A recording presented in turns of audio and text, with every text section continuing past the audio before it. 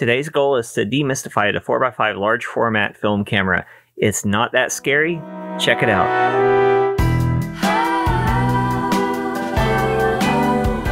Hi, I'm Jamie Maldonado. This is Camera Insecura. And like I said, we're going to talk about the 4x5 film camera today. But first, I would like to talk about a couple other quick things. Uh, I try to post basically weekly. Today's a little delayed, but I had some uh, dental work done, and I'll have some next week too. But I'm already ahead on that one because it blends into this one. So I'm going to do back to back parts, I hope, for once. This week is a fun first. I have my first viewer mail I'm going to make a little intro. I've got a cool idea. So you should uh, probably send me some viewer mail if you want to. If you have a zine, if you have some prints, if you have uh, postcards or whatever, get in touch in the comments and we'll get in touch by email. If I get enough viewer mail, I'd be happy to start a P.O. box. My first viewer mail comes from my patron, Hugo Hernandez, who sent in these awesome zines. There are two of them right here. This is called Walk With Me and I really dig this back cover. Self portrait, I'm assuming. I'm just going to share some pages, and because uh, this is hard to do on this setup, but I encourage you to check this out. Put a puppy in it. Uh, I'll be happy. On the opening page, I'm up before sunrise. I'm tired. My Haley is begging for a walk and I want to find a way to make my one hour walk with her bearable. I decide to take my camera, so walk with me and let's take some pictures. And then on the next one, uh, keeping up with the with me theme, rock with me. Oh, you want simple statements? A collection of images taken at concerts over the years. I love concert photography. Kind of miss it, but also don't really miss the people. Uh, knows how to use the backlight, by the way.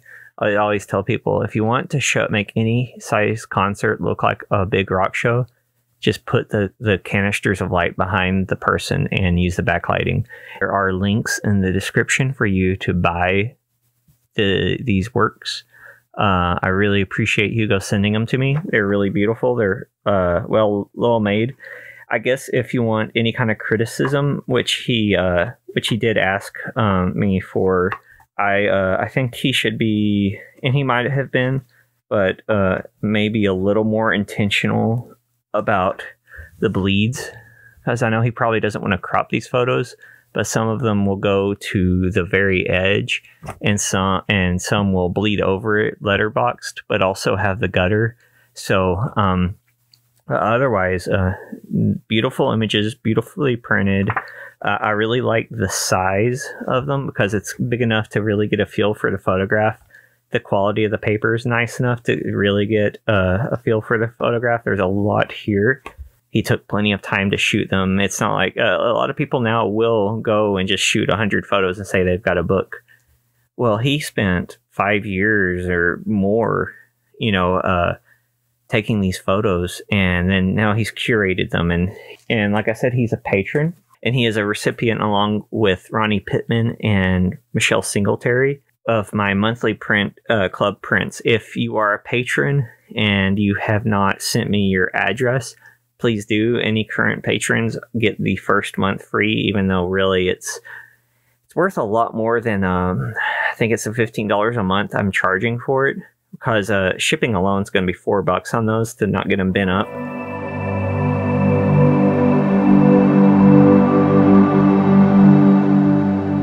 So the 4x5 film camera, uh, it's basic. It's very basic. It's a light tight box with a, a hole in it. A lot of people get scared of of these cameras because they look really intimidating, especially of one of these like kind of technical cameras like I do with uh, all the measuring marks on it or the, the, yeah the little so you can precisely get your swings and tilts. The lens itself can seem intimidating at first but i would like to actually right here um, maybe we can get a good view of it. So it's just this is it. This is basically the camera. You can see the aperture. There we go. Yeah that's the aperture. That's you know the little james bond thing and uh, so there's your f-stop. There's your um, shutter speed. Don't set that while the shutter is primed, by the way. um, you close it down, you prime the shutter, and uh, a lot of you starting out will only have one focal length. Um, it's probably around 150 to 210, which is roughly about your 50 millimeter lens, by the way. Um, don't worry. It would be my advice to not worry about swings and tilts. Just make sure your standards are straight up and down and not tilted in any way. If you find some weird focus, it's probably because those are a little off center. A lot of them will have kind of hard stops or like or like semi hard stops where you kind of feel it hit a bump or something like that, so that you know you have it in the proper place. And that's about all it takes you uh, I, am not going to go too far because I'm going to go through some of it when we're out shooting the photos. Let's look at loading the film. You have to do this in a completely dark room uh, or a completely dark changing bag, which is what I'm using. And this these steps will take place inside the changing bag or inside a dark room. And I'm going to try to figure out an effect, maybe black and white, to show you that indeed this is in a dark room. So what you do is you take the box and it's a double baffled box, you could say. Uh, it's it's a box within a box. Most of them, uh, not all of them. This Atomic X film I have actually just has a double envelope inside of a box. But uh, most of them I've used are a box within a box. So you have the big box and then kind of the opposite side little box. And inside that, you'll usually have an envelope. And in that envelope, between usually two two piece one or two pieces of cardboard is uh, your film so what you do is you fish out your one or two pieces and you try to and then you try to minimize how much you have out at any time in case something goes wrong. So what you do is you fish out I like to do two pieces, everything else up, get your uh, film holder. There are these two little slats you know, notice the slats have usually some kind of white side and some kind of black side. And it's up to you to, to decide which one is uh, exposed and unexposed. But just remember your system. And I'm going to say that white means that the film is ready to be exposed, and black means I need to keep it in the dark until I develop it because it's been shot. See the notches here, and you just feel with them with your finger, uh, feel for them with your fingers. All 4x5 and large format film has these little things called notch codes. The notch code indicates the emulsion side of the film, and you'll want to put it in the in this view, the bottom right hand corner of the film holder. I'm told I load film left handed. Hopefully, you can tell that this is where the notch code goes, and some film holders are actually uh, marked to tell you where they are. The This one is not, which is why it's important to practice this in the light. Hold down the flaps on the uh, bottom of the film holder as you slide the film in. And like I said, use the little notches, the little rails, as a guide for sliding your film under. They will keep the film from being crushed by the slats. Just push the slats in after you're sure you have your film loaded. And there are these two little things on most of them that will keep the slats locked in place. And you'll also notice that I accidentally reversed the order of my slats. So, uh, in case you do that, make sure to check that after you have the light back on to make sure you don't confuse yourself about the orientation of the slats uh, while you um, while you shoot.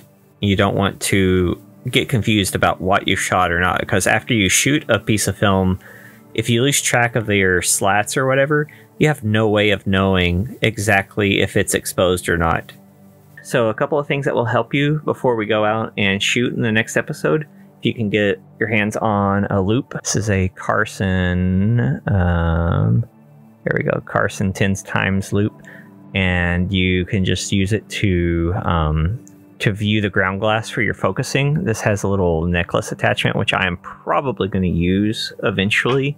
Another thing I would I would suggest is this is a simple release cable. This is one of those um, old school ones. A good sturdy tripod. You might need a light meter. They don't have to be this fancy, but this is uh, a light meter of mine I use from time to time.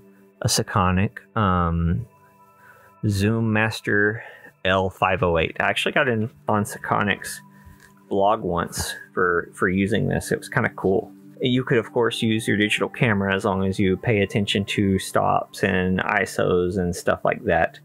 But also, there's this great app called Pocket Light Meter, which I really like, um, and tends to be accurate when I test it against the Sekonic. If you use flash, you'll need to use a flash meter like the Sekonic. Most of your uh, large format cameras will have leaf shutters, meaning you can shoot the entire range of speeds with the uh, with the flash. We might play with that. By the way, you need a dark cloth. Uh, your light meter tells you all the settings. You don't even have to think of that. You take all the time in the world that you need, compose your shot. You have to shoot upside down and backwards on here, and that sounds terrifying, but it gets real easy. So you'll be terrified about the dim, upside down, backwards picture at first, but then you just break it down, you take your sweet time, look at the light, compose the pictures, use your phone if, to compose a picture if you want to. A, a shoot with a large format camera is maybe six shots.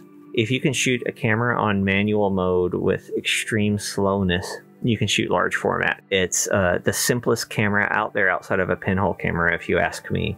You can go crazy with it. You can do some really wild stuff, but you don't have to worry about that. Just like all those buttons on your SLRs that you see, I tell people you don't need most of those. Once you kind of shoot a few photos with this, you're not going to be afraid anymore. And it's going to be a lot of fun because you will slow down. And if you think film makes you slow down, large format makes you, format makes you really slow down. It's cool. I, I really dig it. So there you go. That was the large format film camera. Uh, that's the same for 8x10.